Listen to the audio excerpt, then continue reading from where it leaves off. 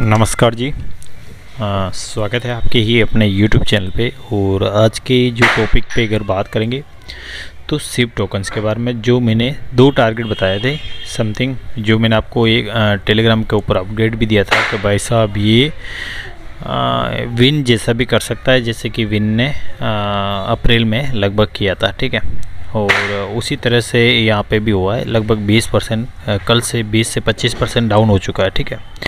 तो उसी के बारे में आज बात करेंगे। और अगर कोइन मार्केट कैप के हिसाब से अगर सिप टोकन की बात करते हैं तो सिप आई एन ग्यारह नंबर की रैंक पे चला गया है, यानी कि दो नंबर रैंक ये पीछे चला गया, ठीक है?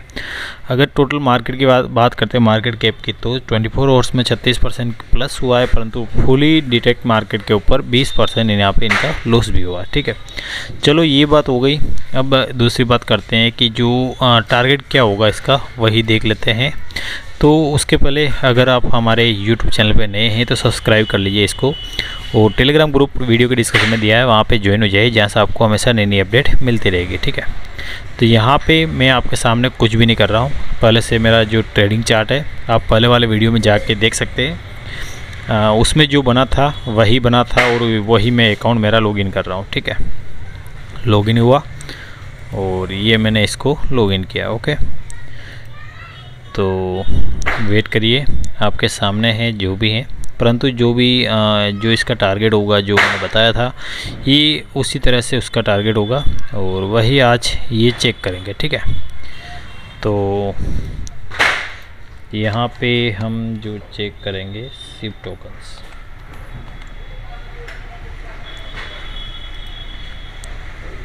तो ये आप चेक कर सकते हैं। मैंने जो टारगेट बताए थे, यहाँ पे फोर हॉर्स की कैंडल को ओपन करते हैं।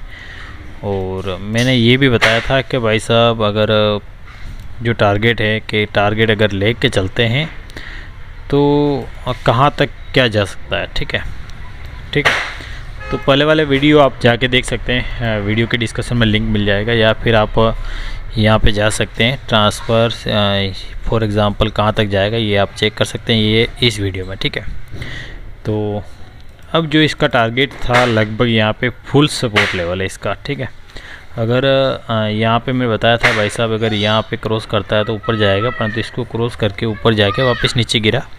यहाँ से सपोर्ट भी नहीं लिया और ब्रेक ब्रेकआउट हुआ यहाँ पे और यहाँ तक पहुँच गया। और अब जो इसका टारगेट होगा, लगभग मान के चलिए, यहाँ से सपोर्ट लिया वापस। अब नेक्स्ट टारगेट होगा zero point double zero double zero five seven ठीक है? डबल फाइव फाइव सेवन के आसपास या फिर फाइव फोर के आसपास। और यहाँ पे अगर यहाँ से वापस ब्रेकआउट करता है तो वापस मत पूछिए इसका टारगेट यहाँ तक भी जा सकता है वापस। Zero point double zero double zero double three के आसपास ठीक है। तो आ, मार्केट है देखो कोई भरोसा नहीं है। परंतु जो ये इन्होंने यहाँ पे इतिहास दोहराया है ये वाला ये आप चेक कर सकते हैं, मैं आपको बताऊँगा। विन का भी ऐसे ही बताऊँगा सेम सिस्टम विन का भी हुआ था। और यहाँ पे इसका टारगेट ये भी है, ये भी है, उसके बाद में अब जाने का चांस भी है, ठीक है? तो दोनों टारगेट हो सकता है, मैं आपको अभी भी बता रहा हूँ, यहाँ से ब्रेकआउट हुआ फोर वन से ब्रेकआउट हुआ, ठीक है?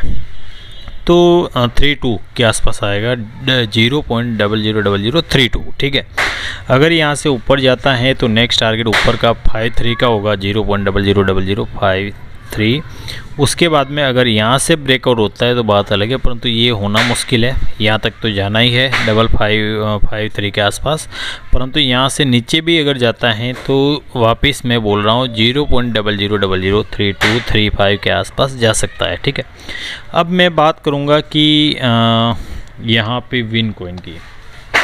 मैं इनको बता रहा हूँ कि मैंने कल टेलीग्राम में भी तीन चार दिन पहले बताया था कि भाई साहब जैसे विन ने किया था, वही ये कर रहा है, ठीक है?